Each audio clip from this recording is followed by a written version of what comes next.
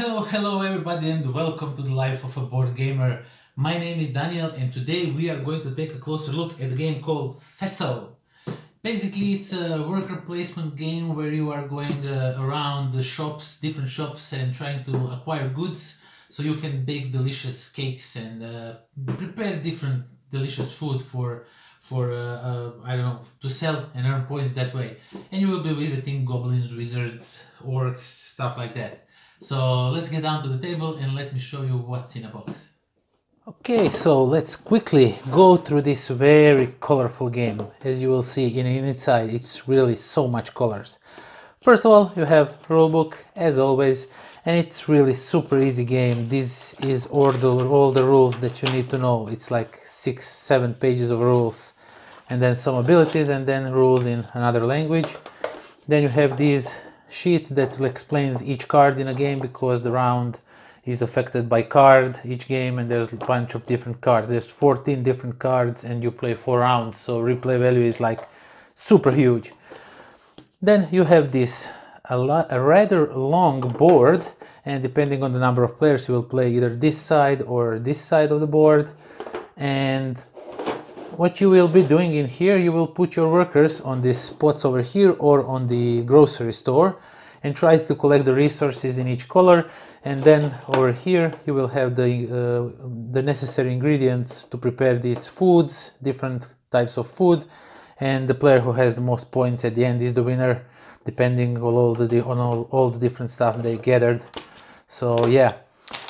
Then what we have is you get your workers and these are like bunch of nice big chunky wooden meeples. Now these are not regular small meeples. They look a little bit bigger. When you get these tokens. These are that represent your dwarves that can do some extra stuff, play out of turn uh, on, and stuff like that. You get bunch of classic wooden cubes that you collect throughout the game that the cubes are ingredients. And then you have these cardboard tokens and the cardboard is really nice. It's really thick cardboard not the thickest ever, but it's not like super thin. It's really nice cardboard.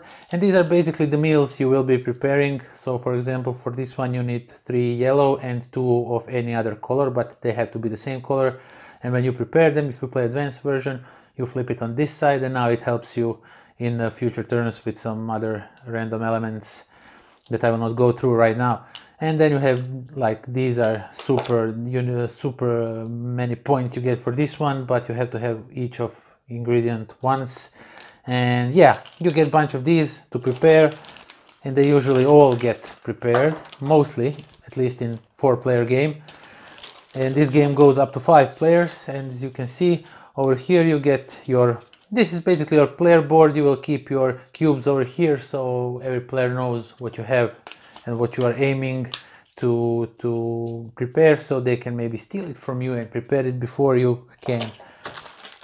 And then over here we have some cards. You get some dice so you can decide which of and some victory points. And these dice decide which of the shops will not work for a turn. And over here you get this cheat sheet first player token and this cheat sheet for each player so they know how the game round goes and what you do in each game round. And there's some tokens stuck in here. And then you get a bunch of these cards and these cards we will reveal one uh, at the start of each uh, turn and you play four turns so there's a bunch of different cards. And they will give you some random abilities like I don't know really right now because they're like you can pick up two instead of one uh, they just change up some rules basic rules of the game and that is that that's everything that comes in a box of Festo Okay, so that was Festo. And I must say this is a really light and nice, nicely done worker placement game. Uh, if you want to bring some new gamers to the table and you don't want to overwhelm them with so much complicated rules and stuff like that, you want some easy worker placement stuff game that you want to show them, then the Festo is definitely one for you. It, it, it is a bit take that, it has a little bit of take that, so you can go back and forth, uh, mess up with other players, trying to steal from them uh, ingredients so they don't get anything. But it, it's really not that mean, and the game is three rounds uh, long, so it, four rounds, four rounds, sorry, and, and it goes really really fast. Uh, over here it says 60 minutes. I would say that's about right because you have some thinking. Do I want to go here? Do I want to go there? There is some random randomizers that not all shops will be available for the purchase. So sometimes it can work with you, sometimes it can work against you.